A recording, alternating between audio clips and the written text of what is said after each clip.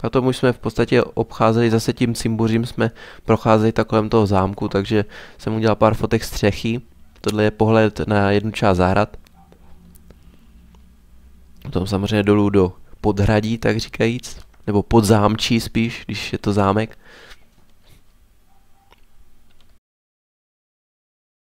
Loára. Tady očividně stával most.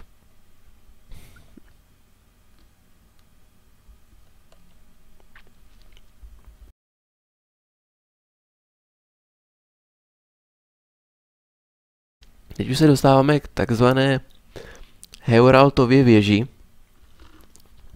kterou mám natočenou na videu, takže k ní neřeknu nic moc dalšího, to si musíte počkat. Haha.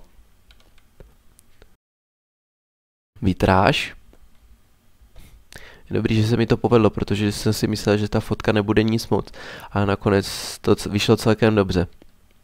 No a teď už samotné zahrady. Tady to asi nemá cenu nějak blíž komentovat. Krom toho, že vpravo od těch zahradek tam vidíte ty uh, stoličky a ty židličky, tak to, byla, to byl bar zmrzlina. Ale nicméně tohle neopolská terasa. Tady ty koule, co uvidíte všude kolem, jsou uh, tvarované okrasné buksusy. To je asi tak nejdůležitější, co k tomu říct, že jo? protože jinak jako zahrady, jako to asi nemá a samozřejmě párkrát ještě pohled zpátky dolů. Tady asi není moc co vysvětlovat nebo popisovat. Snad kromě téhle brány, což je brána lvů, a složil to jako jeden z dalších vchodů. A dnes už je to zavřený a dokonce tam máte cedulku, jakože nevcházet. Tohle je právě ta orientální zahrada, o které jsem mluvil, kde byli pohřbení ti členové té, toho doprovodu toho alžírského emíra, kteří zemřeli právě na Amboaz za ty čtyři roky.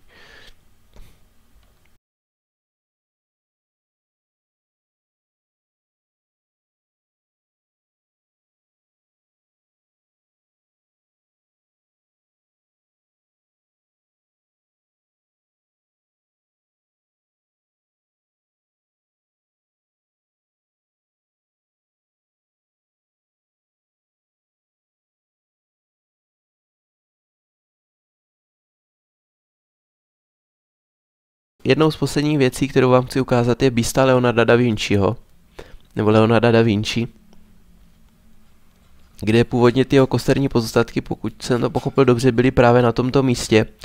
Ovšem potom, co byla eh, budova, kde byly jeho pozůstatky uloženy v 19. Eh, století zbořena, tak byly převezeny právě do té kaple svatého Huberta a na místě té budovy mu postavili takovou hezkou bistu.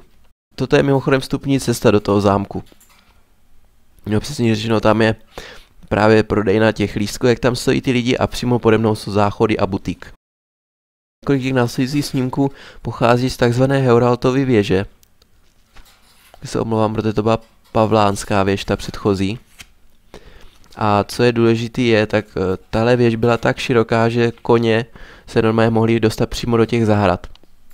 Byla tak prostorná a široká takže se tam mohli dostat přímo. Eh, postavili, nebo z její stavu začal Karel VIII. Jenže bohužel ten jednoho nešťastného dne se tady v Amboaz při myslím návratu z nějaké té hry praštil čelem do dveří, do toho, do toho rámu nahoře a zřejmě si způsobil krvácení do mozku a umřel potom. Což jako když jsem, když jsem si to četl, když jsem se slyšel, tak jsem tomu nemohl uvěřit, jako jak to dost, to musela být rána jako prase. Když odcházím z toho zámku, ono je taky, nevím jestli to tady na téhle fotce dost dobře vidět, ale přímo pod tím zámkem se nacházela taková jakoby středověká hospůdka, kde stáli tak stál takový chlapík v oblečení strážce a potom tam byli ženský oblečený ve stylu toho 16. století, což se mi moc líbilo. Nefotil jsem je, že jo, do, do, do, do detailu, protože by mi to přišlo blbý. No a tady pár fotek z oblasti kolem Loáry na samotné Amboas, na to městečko. Tady jako jenom takových pár momentek jsem hodil